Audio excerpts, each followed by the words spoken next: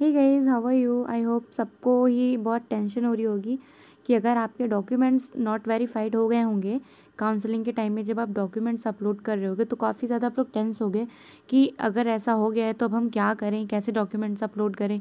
बहुत लोग के साथ ऐसा भी केस हो रहा है कि जिनकी डॉक्यूमेंट्स सही हैं मतलब कि उनको वैसा ही डॉक्यूमेंट मिला है बट उसके बाद भी डॉक्यूमेंट नॉट वेरीफाइड हो गया है।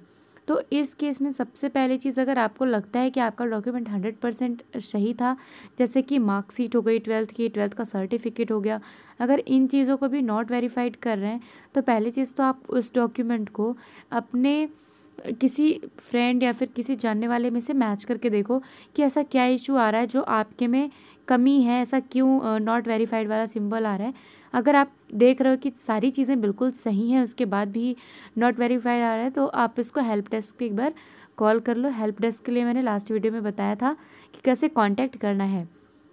तो हेल्प डेस्क में आपको पूछना है मेल करना है कि ये मेरा डॉक्यूमेंट एकदम सही है देन ये नॉट वेरीफाइड क्यों है? अगर इसका रीज़न मुझे मिल जाएगा then I'll upload it later और दूसरी चीज़ ये कि बहुत लोगों का जो नॉट वेरीफाइड हो जा रहा है, उनको ये टेंशन हो रही है कि उन्होंने जो फ़ी पेमेंट कर दी है, क्या वो वापस आएगी?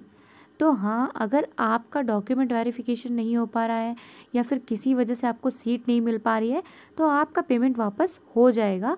और जो फेम, जो पेमेंट रुक जाती है, जिसके लिए निफ्ट नहीं पे करता है, वो आपका रजिस्ट्रेशन फ़ी होता है अराउंड टेन थाउज़ेंड रुपीज़ जो कि जिसके लिए आप रिफ़ंड वाला एनेक्ज़र भी फिल करते हो कि आपका रजिस्ट्रेशन वाला पार्ट आपको वो नहीं पे करेंगे।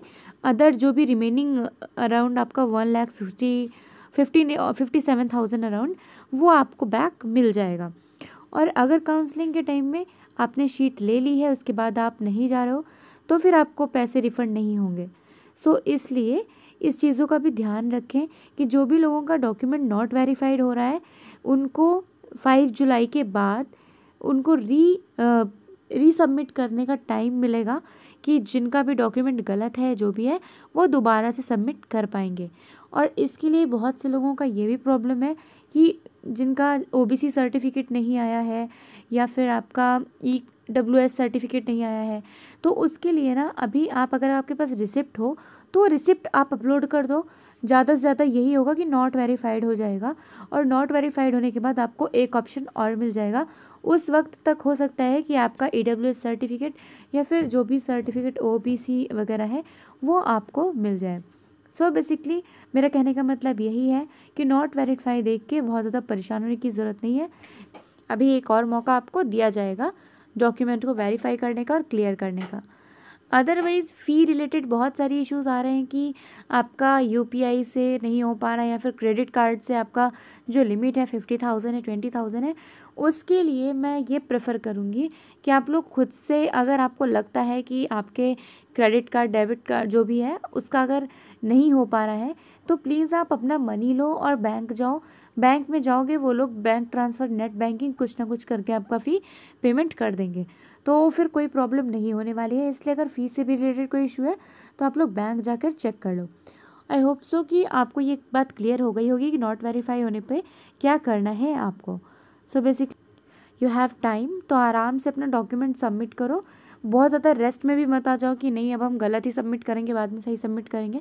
ऐसा भी मत करो। बट अगर बहुत ज़्यादा आपके पास एमरजेंसी है, नहीं हो पाया लास्ट डे तक तो आप ये चीज़ कर सकते हो। लास्ट डे को फोर पीएम तक सभी लोग अपना डॉक्यूमेंट सबमिट कर दें, क्योंकि उसके बाद कभी भी पोर्टल कम, बंद हो सकता है।